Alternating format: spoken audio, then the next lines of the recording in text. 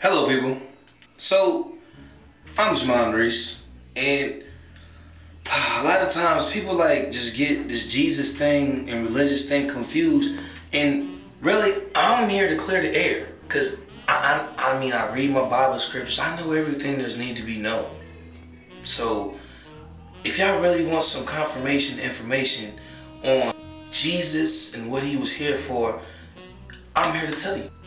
So look, if anybody tell you anything different, they're atheists. They're obviously liars. Let's get to it. So this is what happened, okay? Jesus was chilling in heaven, I'm saying, God told that nigga like, like, hey yo son, think you the shit walking on water and all that shit. Why don't you go down to earth and see if you can throw that shit off, nigga? How about sending your ass down there? Jesus was like, alright, cool, pops. I'm gonna be running shit when I get down there.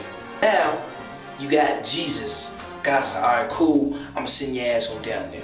See if you can run shit, cause you think you the shit, you know what I'm saying? Angel Michael laugh like, ha, nigga, ah, nigga, you going to earth, nigga, with all the weak niggas. You know what I'm saying? Jesus get down there, he's chilling.